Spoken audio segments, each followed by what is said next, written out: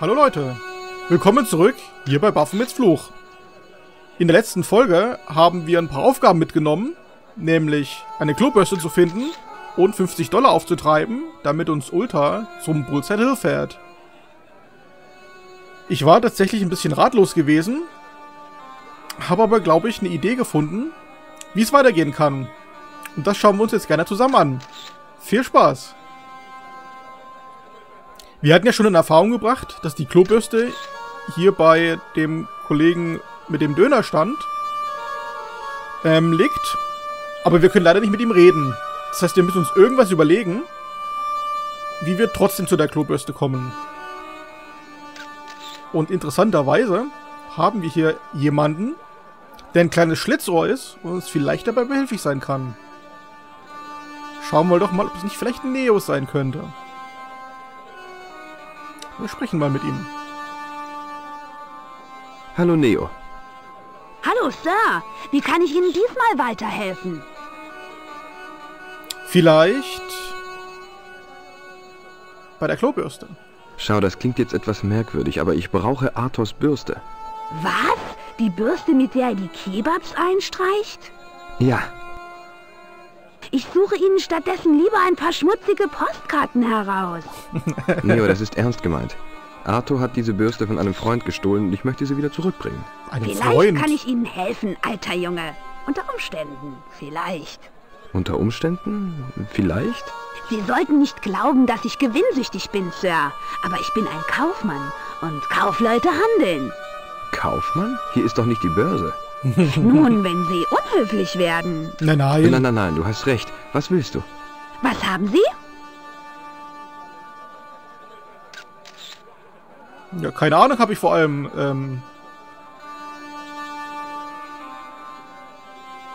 müssen wir hier drauf nochmal drauf klicken. Wirst du mir helfen, die Klobürste von Arthur zu bekommen oder nicht? Ich werde entzückt sein zu helfen. Aber wir haben uns noch nicht darauf geeinigt, was für mich dabei herausspringt. Was hättest du gerne? Was haben Sie denn? Was habe ich denn?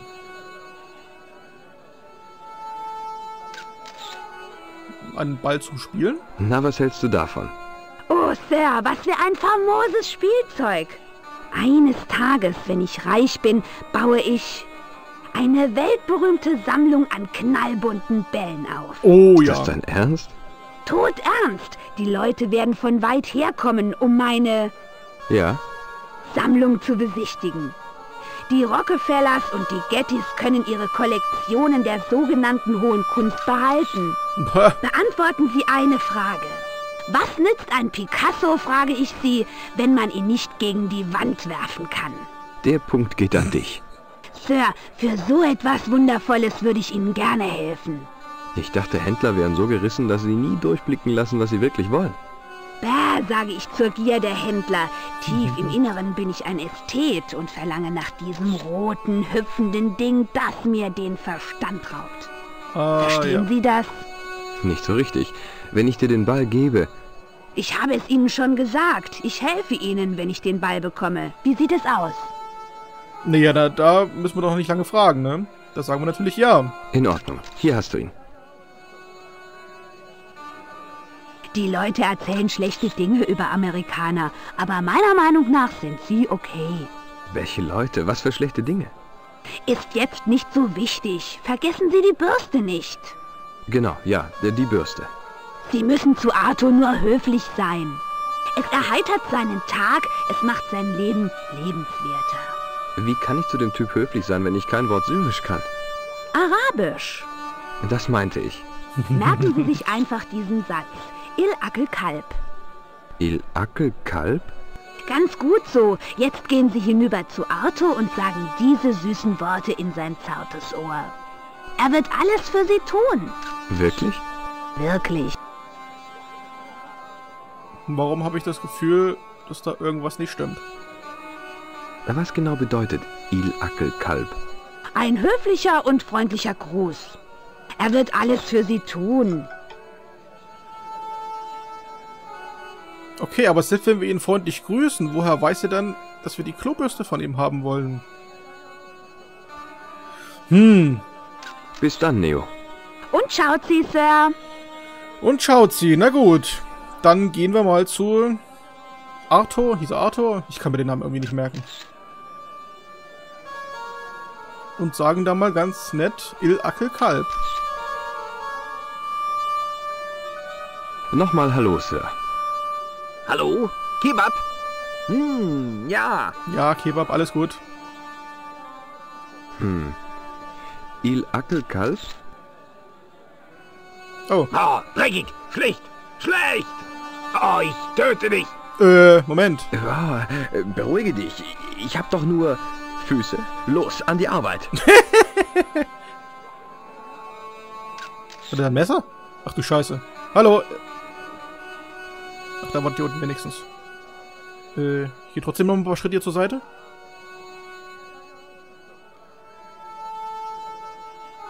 Ne, der kommt nicht. Ja, und jetzt? Äh. Hm. Geht mal wieder zurück. Die Folge ist ja noch nicht alt. Im Servicefall müssen wir den Spielstand eben einfach nochmal neu laden. Hä, das ist wieder ganz friedlich. Aber die Clubbürste ist weg. Na, guck doch etwas ratlos. Ja, wir gehen mal schnell hier vorbei. Jetzt würde ich doch gerne mal von Neo wissen. Was wird er jetzt eigentlich genau gemacht haben? Weil ein freundlicher Gruß schien mir das nicht zu sein. Hallo Neo. Was zum Teufel hast du mir da gesagt, was ich ihm erzählen soll? Geduld, Sir. Geduld? Geduld? Ich wurde von einem wahnsinnigen Kebabverkäufer verfolgt und dann soll ich geduldig sein? Aber bedenken Sie, Sir, als Sie vor dem aufgebrachten Arthur wegliefen, konnte der aufgebrachte Arthur die Bürste nicht benutzen. Nun mal langsam. Willst du damit sagen, dass ich nur das Ablenkungsmanöver war? Ihre Bürste, Sir.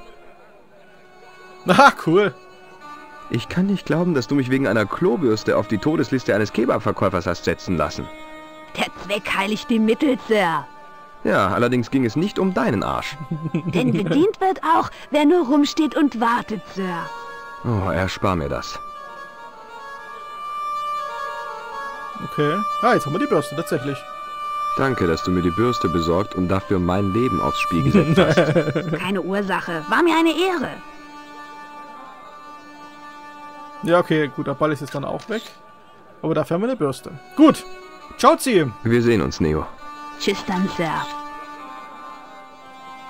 Ja, und mit der Bürste gehen wir jetzt zum Clubmanager. Und der gibt uns dann den Schlüssel.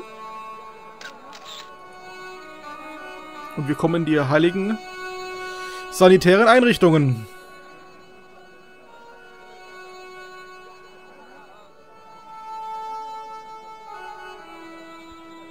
Komm, lass mich durch. Heute noch? Dankeschön.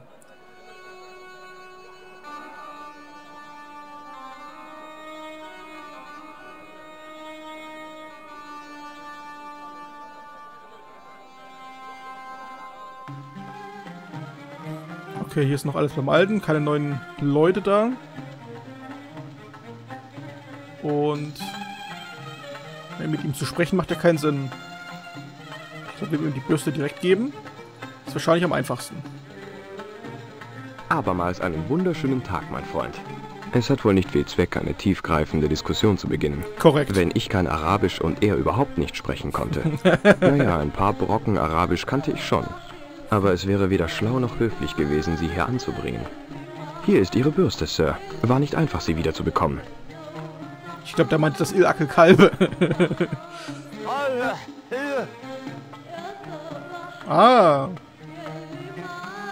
Der Manager nimmt die Bürste, gibt mir die Toilettenschlüssel als Belohnung und geht. Und warum geht er da deswegen gleich? Worum ging es denn?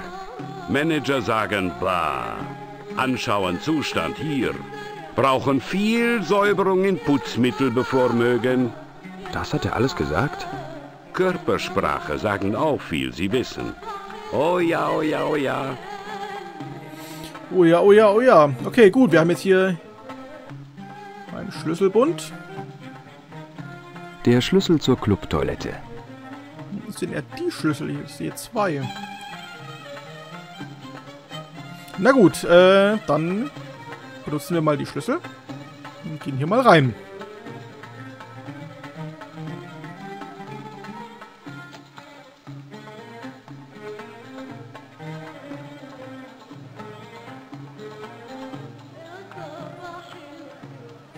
Okay, was haben wir denn hier alles? Wir gucken ja anscheinend durch ein Fenster rein. Ist hier jemand drin? Hallo? Hallo? Ist da jemand drin? Keine Antwort. Also schubse ich mal. Okay. Das sind interessante Toiletten. Was muss ich da hinknien? Hm, ich will es mir gar nicht vorstellen. Und ich dachte schon, die Franzosen hätten komische Toiletten. ja, das habe ich auch schon mal gehört. Dass die irgendwie nur so komische Löcher im Boden haben. Ich habe seit heute Morgen noch nichts getrunken und ich muss nicht auf den Top. Na Gott sei Dank. Oh, was war das? Das Toilettendesign unterscheidet sich leicht von dem, was ich gewohnt bin. Aber eine Spülkastenkette ist überall auf der Welt gleich. Na dann spül mal. Oh. Ups. Ups. Ja, so war das jetzt eigentlich nicht gedacht. Hat er jetzt die Kette vom... Na gut, das ist der ganze Spülkasten. Aber ich glaube, der hat nur die Kette genommen. Ein Stück Kette, die ich in der Toilette vom Club Alamut abgestaubt habe. Na gut. Ja, wir wollten eigentlich nur spülen. Ich habe zwar keine Ahnung, warum wir das wollten, aber wir wollten es. Komm mal hier wieder raus. Was haben wir hier noch? Ein Spiegel. Der Spiegel ist so sauber wie alles andere hier drin. Meint ihr das ironisch? Oh. Mhm, der Spiegel spiegelt, also wenn man ganz nah dran ist und sobald man dann wieder einen halben Meter wegtritt, spiegelt auf einmal nicht mehr. Mhm. So, Wasser können wir also auch aufdrehen. Das Becken scheint ganz sauber zu sein, aber es fehlt der Stöpsel. Okay. Wassermarsch.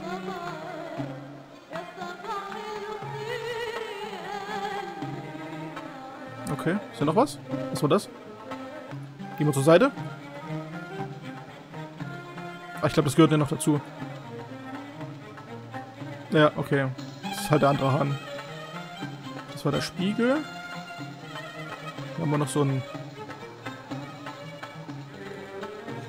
Papierspender. Ein Endlos-Handtuchspender.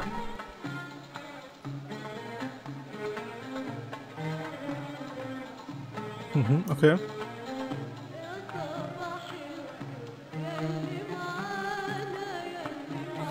Na gut, es ist halt relativ endlos, ne? Ich meine, wir können ja mal eine ganze Folge machen, wo wir hier einfach nur das Papier abwickeln und wieder aufrollen. Aber ich glaube, hier passiert auch nicht mehr. Okay, also wir können irgendwas mit Wasser machen.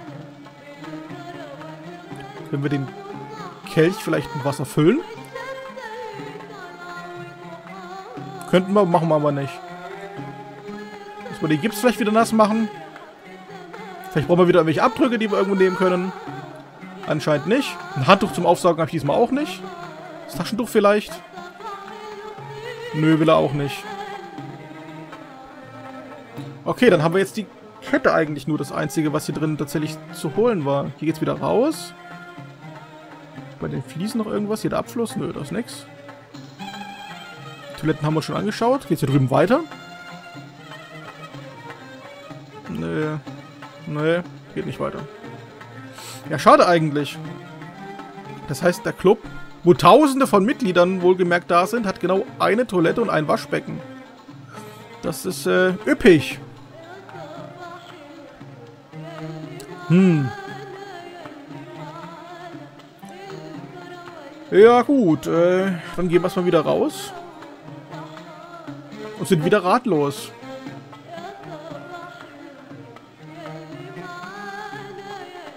Wir sprechen nochmal mit... U Ultra? Ultra hieß er.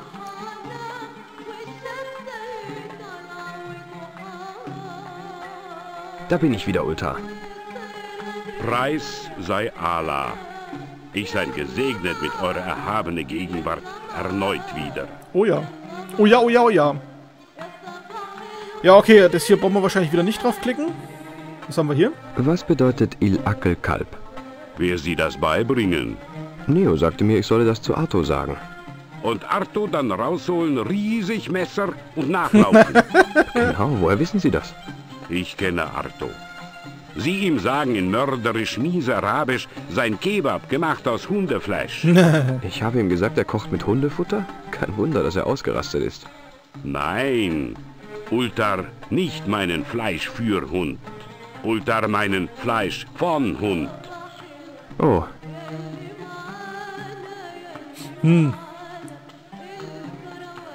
Willst du vielleicht eine Spülkastenkette haben statt der 50 Dollar? Was sagt Ihnen diese Spülkastenkette? Sie bringen Bürste wieder, damit so können stehlen Kette? Die ganz krümelig im Keks, was? Touché. Aber das war nicht beabsichtigt. Ich wollte eigentlich nur spülen. Ich wollte nicht klauen. So, dann machen wir nochmal die Schlüssel. Schauen Sie, ich habe die Schlüssel zur Toilette muss dieses Lebenszielsyndrom sein, über das ich in der Geo gelesen habe. Ah, ja. Okay, gut. Die Diskussion hier kennen wir schon. Das können wir uns erst, oder das können wir uns sparen, solange wir kein Geld haben. Okay. Und tschüss. Dann erstmal tschüss, Ulta. Möge gutes Glück Ihnen folgen, allüberhin, Mister. Ja, das wäre echt gut.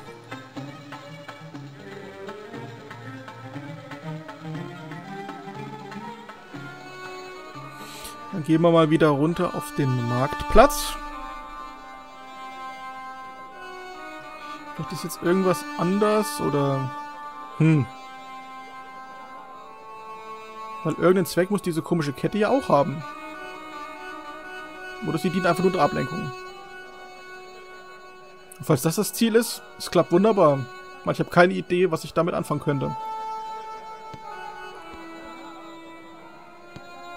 Ich spreche nochmal mit Pearl. Hallo Pearl. Hallo George, schön Sie zu sehen. Spülkastenkette? Wie gefällt Ihnen die Kette für die Toilette?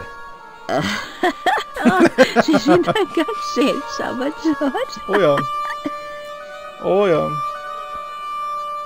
Vielleicht, wenn du auch mal aufs Klo musst? Ich habe hier die Schlüssel für die Toilette.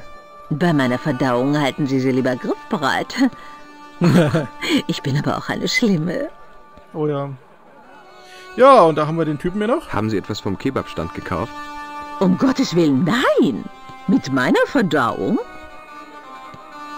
Okay, gut, dann sind wir hier auch fertig. Ich muss jetzt gehen, Pearl. War mir ein Vergnügen, George. Lassen Sie uns in Verbindung bleiben, ja? Ja, unbedingt. Ich glaube, wir sehen uns sogar im zweiten Teil von Baphomets Fluch wieder. Hallo, Dwayne. Ja, mach noch dein Foto fertig.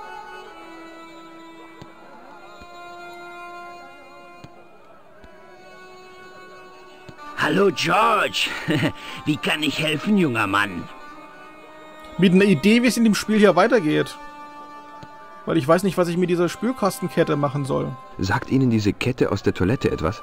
Es bedeutet, dass irgendwo jemand nicht die Toilettenspülung betätigen kann.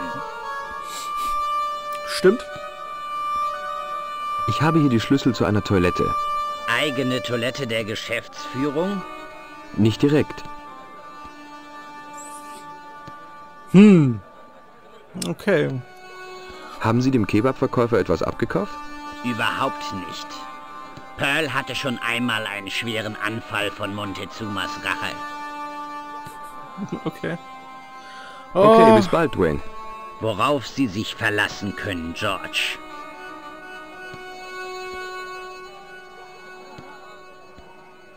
Hm. Was dockt denn eigentlich hier die ganze Zeit so komisch? Ah. Neo spielt mit unserem Ball. Hallo Neo. Ich rede mit dir und habe aber Hallo, keine Neo. Ahnung worüber. Hallo Sir, wie kann ich Ihnen diesmal weiterhelfen? Anscheinend gar nicht. Äh, Schlüssel? Erkennst du die Schlüssel? Nein. Die sind für eine Toilette. Danke, dass Sie mich daran teilhaben lassen. ja, das ist bestimmt auch noch eine Verwendung in deinem Stand für diese Spülkastenkette. Was hältst du von der Spülkette für die Toilette? Bauen Sie eine Toilette in kleinen Raten zusammen? ja, der war gut. Gefällt mir. Also der Humor in dem Spiel, ne? Ich hatte es ja schon mal gesagt, aber es gefällt mir echt gut. Okay, ciao, Sie. Bis dann, Neo. Und ciao, Sie, Sir. Und jetzt spielt er wieder.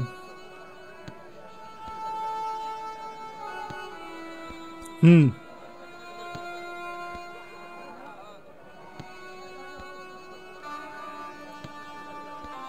Der wirft das gegen die Tür. Also den Ball. Vielleicht können wir ihn irgendwie ärgern, wenn genau in dem Moment sein Vater rauskommt und ihm den Ball gegen den Kopf wirft. Komm, wir drücken einfach mal auf die Klingel.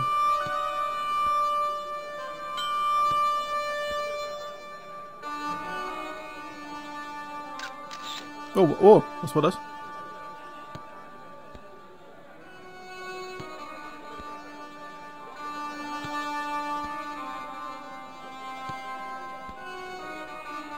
Also der Ball ist hier irgendwie im Regal hin und her gesprungen. Probieren nochmal.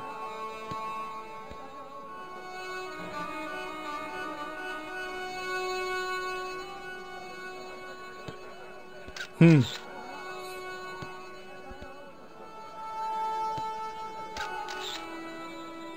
Okay, die Tür lenkt den Ball ab. Und hüpft dann im Regal rum. Also nicht die Tür, sondern der Ball springt dann im Regal rum. Vielleicht? Moment, haha. Die Katze geht doch auch auf das Regal, wenn wir sie streicheln wollen. Vielleicht müssen wir die Katze streicheln und dann... Ich, wir probieren das mal aus. Ja, genau. Und hier nochmal drücken.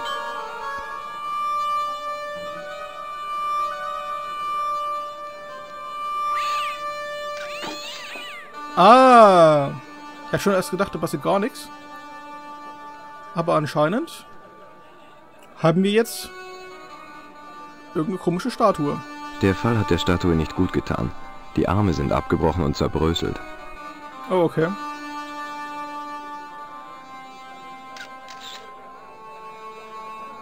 Vielleicht können wir mit dem Gips irgendwas machen. Das Ding restaurieren. Die Statuette sieht nach diesem Sturz ziemlich lediert aus. Überall Macken und beide Arme sind abgebrochen. Dann bräuchte man aber wieder das Wasser, oder? Ja? Nö, ähm, macht er nicht. Das ist keine gute Idee. Naja, das sagst du jetzt so einfach. Ich fand das eigentlich schon eine gute Idee.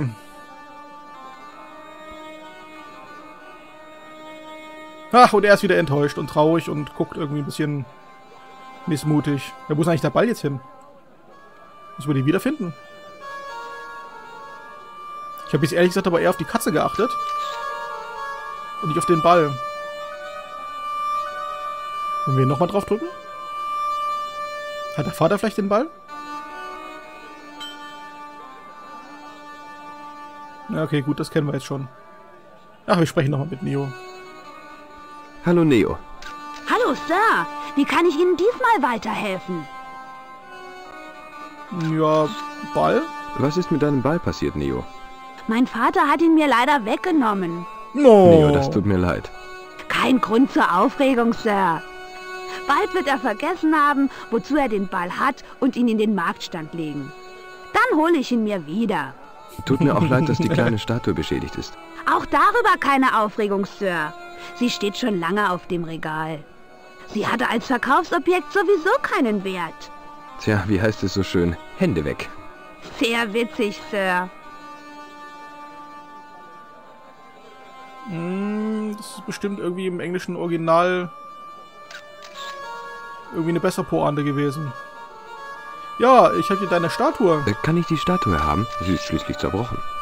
Natürlich, und wenn mein Vater den Kater dafür zwischennimmt, dass er sie zerbrochen hat, können Sie auch noch eine schicke Fellmütze haben. naja, so weit wollen wir nun auch nicht gehen. Gerade hier in Süden brauche ich, glaube ich, keine Fellmütze. Gut, äh, dann gehen wir wieder. Wir sehen uns, Neo. Tschüss dann, Sir. Tschüss dann, genau. So, wir haben jetzt eine kaputte Statue. Und Pearl wollte doch irgendwelche Gegenstände haben. Also irgendwas Altes hier auf den auf diesem Markt. Hallo, Pearl. Hallo, George. Schön, Sie zu sehen. Vielleicht können wir ihr diese Statue idealerweise für 50 Yankee-Dollars verkaufen. Interessieren Sie sich für Antiquitäten? Und wie? Haben Sie etwas, George? Wie wär's mit dieser feinen Statue? Oh, George, das wäre ideal. Außer, hm, ich weiß nicht. Sieht neu aus, George. Sie würden doch nicht versuchen, mich hinters Licht zu führen, oder? Nein. George? Großer Gott, nein, Pearl, nichts liegt mir ferner. Okay. Die sieht zu neu aus. Ich muss jetzt gehen, Pearl. War mir ein Vergnügen, George. Lassen Sie uns in Verbindung bleiben, ja? Können wir die vielleicht irgendwie... Das hat man doch schon mal probiert hier. Hm, auf gar keinen Fall. Bisschen zerkratzen? Mit dem Ding vielleicht? Hm, Nö. Vielleicht doch nicht. Mit dem Schlüssel? Hm, auf gar keinen Fall. Hm.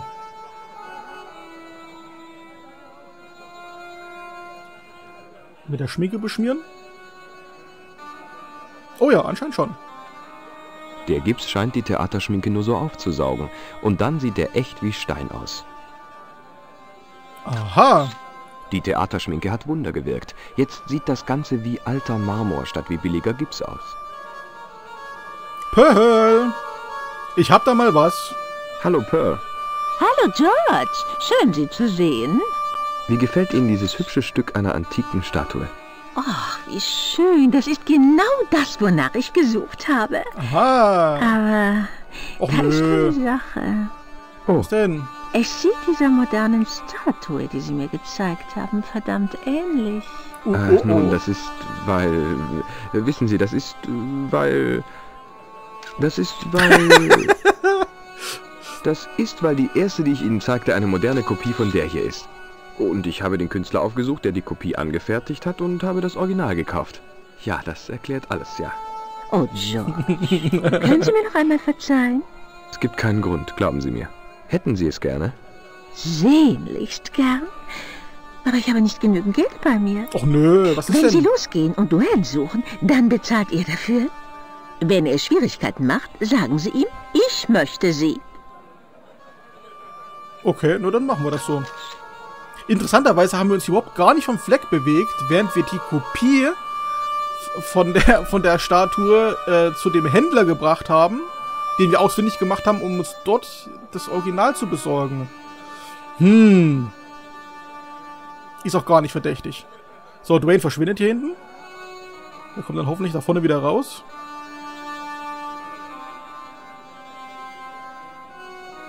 Komm, zeig dich. Jawohl. Und? Statue. Hallo Duane. Hallo George. Wie kann ich helfen, junger Mann? Was halten Sie davon? Oh Gott, sieht alt aus. Ja, ich musste die halbe Stadt dafür auf den Kopf stellen. Junge, Sie haben mehr Glück als wir. Sieht wie aus der Römerzeit aus. Davon verstehe ich nichts. Was die zu Hause sagen werden. Was wollen Sie dafür, George? 50 Dollar. Oh, ich kann nicht. Es ist der Fund des Lebens. Ich meine, 50 Mäuse. Nehmen Sie es oder lassen Sie es sein. das Geschäft geht. Hier, nehmen Sie. Und das ist für Sie. Ich kriege jetzt erst mal 50 Dollar? Haha! Nur der haut gleich wieder ab. Ja, coole Sache. Die Statue ist tatsächlich weg und... Tada! 50 Dollar. In den Staaten hätten Sie für mich nur einen netten Abend in der Bar dargestellt. Hier in Marib sind Sie harte Währung. Oh ja. Und beim Blick auf die Zeit stellen wir fest, diese harte Währung setzen wir in der nächsten Folge ein, wenn wir zu Ulta gehen werden, um die Reise zum Bullseye Hill aufzunehmen. Aber wie gesagt, erst beim nächsten Mal. Hier machen wir Schluss. Ich danke euch fürs Zuschauen und wir sehen uns hoffentlich in der nächsten Folge wieder. Macht's gut. Ciao, ciao.